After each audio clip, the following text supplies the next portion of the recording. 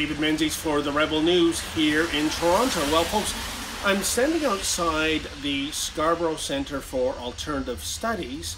That's a Toronto District School Board uh, run facility for adult students exclusively.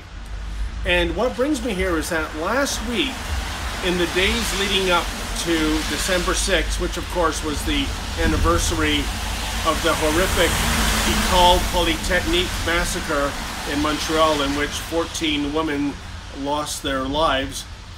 The display that was erected here at this school was vandalized. There was graffiti written over it that was very misogynistic in nature. Well, the four people who allegedly did that are now being charged by police uh, for mischief.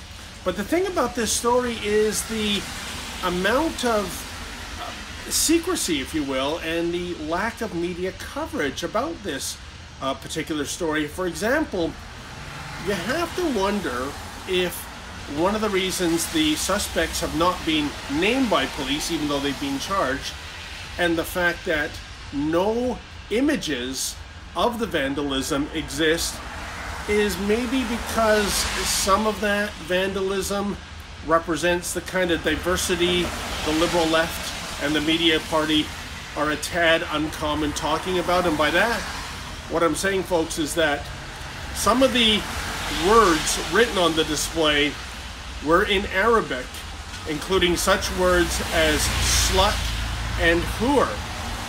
So we don't know um, who's done this. Unlike the vandalized cenotaph outside of um, Old City Hall last month, I can't get my hands on any image. I uh, went into the school and uh, nobody was there to help me and they were even evasive in uh, saying whether or not the display still exists. So I just have to wonder if this is the new normal going forward, if there is a crime or a thought crime being committed perhaps by those of a diverse uh, community, then better not to spend too much time on that and just carry on with our lives as though nothing ever happened. For the Rebel News, I'm David the Menzoid Menzies. Hey folks, if you like the kind of coverage we bring you here at the Rebel News, the kind of coverage you simply don't get anywhere else when it comes to telling the other side of the story, then why not become a premium content subscriber? Please visit premium.rebelnews.com. That's premium.rebelnews.com. Sign up and never miss another Rebel video.